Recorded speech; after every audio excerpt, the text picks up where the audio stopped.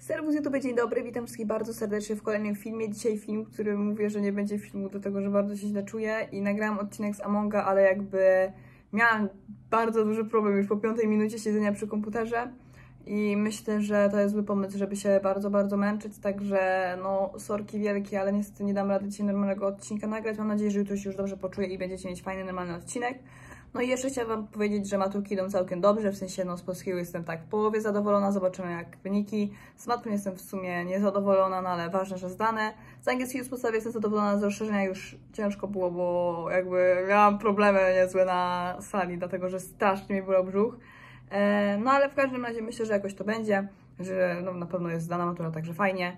E, Trzymajcie kciuki za Polski, za historię, a ja idę odpoczywać, bo muszę po prostu. I no przysięgam Wam, że chciałam dla Was nagrać odcinek, próbowałam, ale ciężko. Na szczęście nagrałam na plusa, przynajmniej także no możecie sobie go zobaczyć. Było 17.15 na kanale, także wbijajcie koniecznie.